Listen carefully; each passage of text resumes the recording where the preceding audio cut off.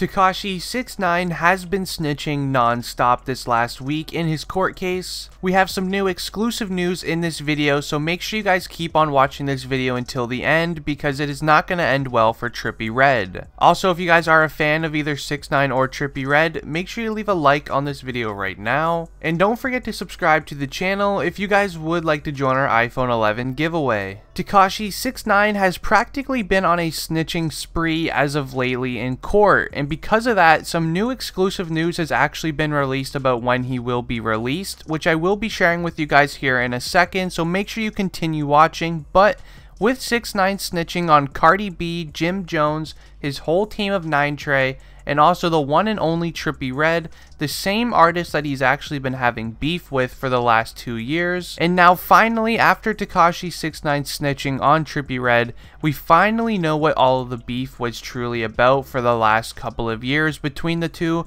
within the rap industry, you know, going at each other in music, you know, other than that, you know, actually real life altercations as well, which 6 9 did explain in court. But due to 6 9 snitching on Trippie Redd in court, it's actually brought up a lot of red flags for law enforcement with Trippie Redd.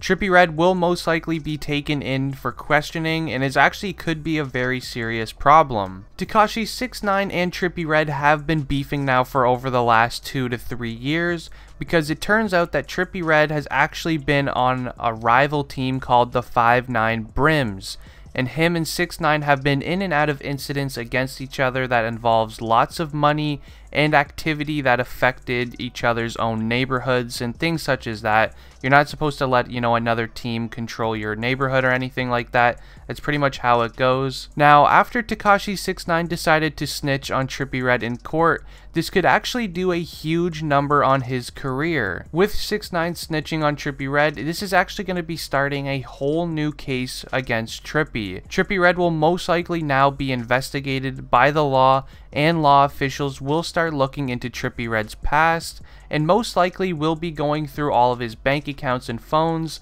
to make sure that nothing fishy has been going on with him.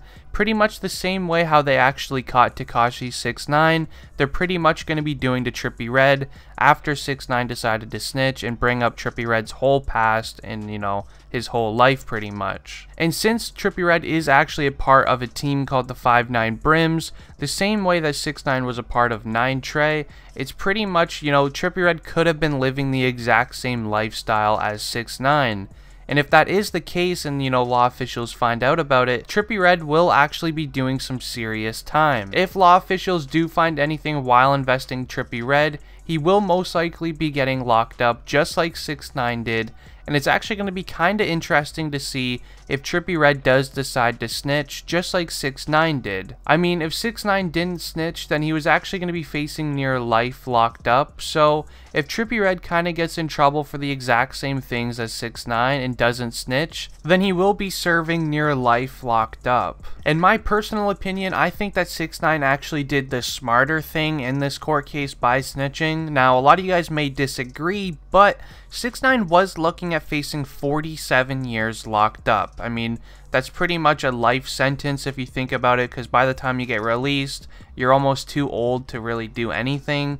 So, I mean, 6 9 snitching is actually a good idea because some new exclusive news have ju has just been released yesterday at the time of this recording, and apparently 6 9 could actually be getting released at the end of this month.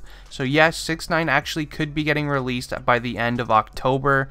I mean, the law and the court, everyone's pushing for 6 9 to be getting released, you know, as quick as possible. So if all the paperwork actually does go through, then Tekashi 69 will literally be a free man by the end of the month, and we could probably expect a lot of new music, but I do kind of feel like something bad is sort of gonna happen. Like, I'm almost genuinely scared for 6 9's life. I mean, usually, like, when somebody will snitch on one person in court that's, you know, in a team and lives the street life, I will be honest, they do, they are taken out within days of, you know, being released. And if you think about it, Tekashi 69 didn't snitch on one person or two. I mean, the guy snitched on 11. So I am actually very scared for 6 9's future. I mean, I would hate to see, you know, him be taken out just because that would be, again, another young talent that has been, you know, taken away from us. I am genuinely scared. Like I wish almost as because you know even as a content creator, Six Nine does bring great content to my channel.